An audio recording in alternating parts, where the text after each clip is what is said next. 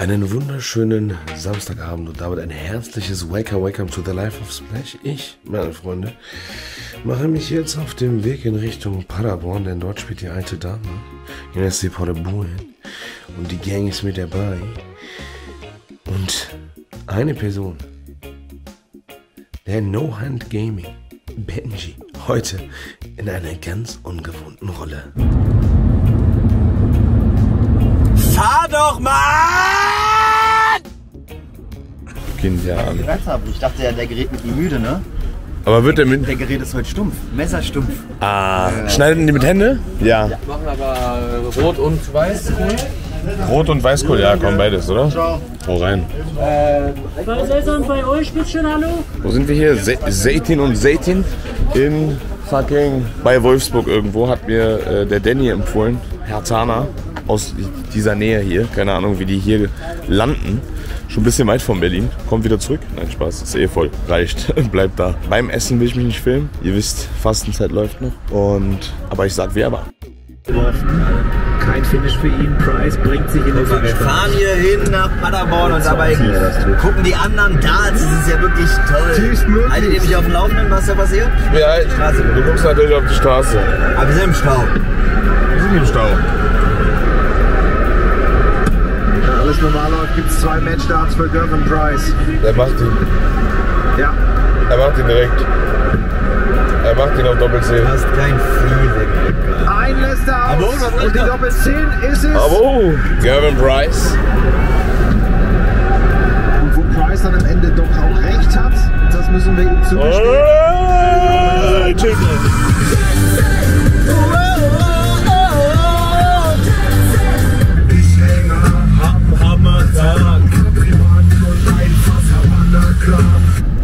Die Helm Deluxe Arena wird übernommen von Spree Athenern. Das war ja großartig. Das war ja gerade grandios. Was sagt der Der Navigationsgerät sagt, in 200 Meter nach rechts bitte abbiegen. Wir haben das. Alter. Alter Falter, schaut euch das an. Die ganze Stadt hat sich versammelt hier. Sagen, müsst ihr nicht arbeiten. Müsst ihr nicht arbeiten.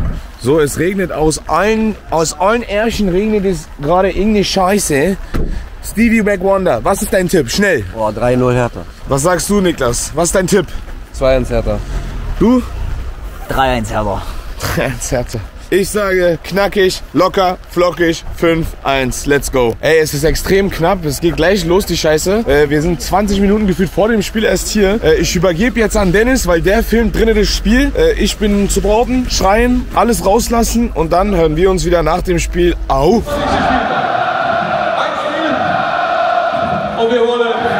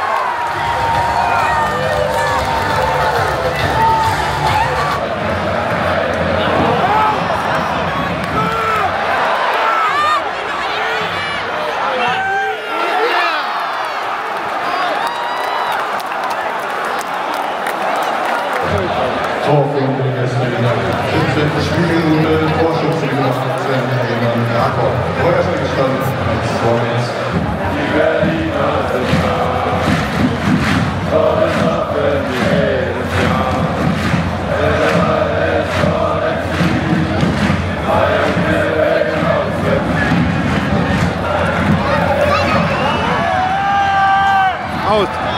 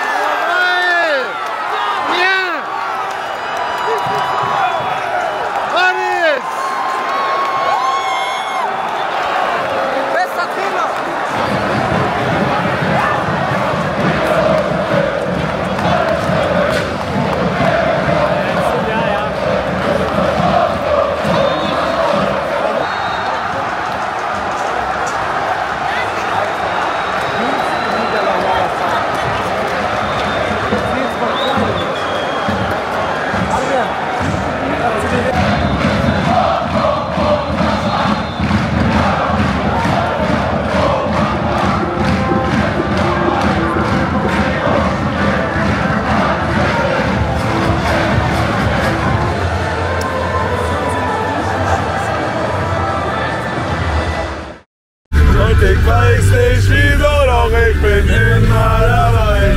Mein Herz schlägt blau-weiß und es wird ewig so sein. Egal wie sehr sich mein Leben auch dreht, ich brauch mehr Tagesstunden, mein Berlin und die Spät.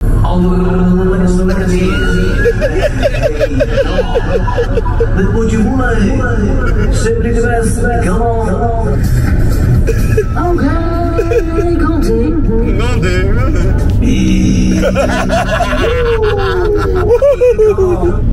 Ey, das krasse ist ja, dass die einfach nicht mal verwandt sind oder so, ne? Wie? Die haben die ja, das sind nicht Vater und Sohn oder so. Das ist halt so. Da hattest du immer, das ist der Vater und Sohn? Natürlich. Nein, das sind einfach so zwei verschiedene Leute, die die so zusammengepackt haben. Nein! Doch. Das ist schöner Sidefact für den Vlog. Ich will nach Hause. Ich, diese Baustelle, ich kenne ich gar nicht. Seit wann ist diese mittlere Spur gesperrt?